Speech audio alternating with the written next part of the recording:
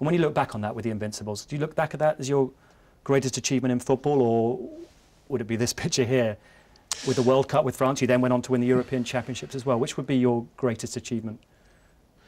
I was fortunate enough to play in some great side. Uh, the, the, that French side that uh, won the, the, the, World Cup and the, uh, and the Euros straight after, uh, you would have thought it, it, would have been impossible to do that again. And in Spain did way better than us. Uh, so I'm just happy to and privileged to that I was part of the history of, of, of some teams and, and you mentioning the staying unbeaten with Arsenal, we know how hard it is to, to do that in the modern game. Ju Juve did it uh, uh, not, that, not that long ago, but no disrespect to the Italian league. Uh, to do it in England, when sometimes you have to play on the 23rd of December, on the 26th of December, your friend are phoning you, well, are you, uh, it's, it's Christmas, you're in a hotel somewhere. I'm not complaining. I'm just saying that then you play on the 29th, and then you play on the 1st, and then somewhere along the way,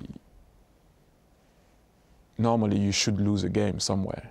But we managed to to to, to stay unbeaten. So that's also amazing. And then you mentioned uh, after uh, winning the Champions League with Barcelona, I saw the fact that we won the Champions League there is we have done something that no other team has done since winning every single competition that you can win in a, in a year.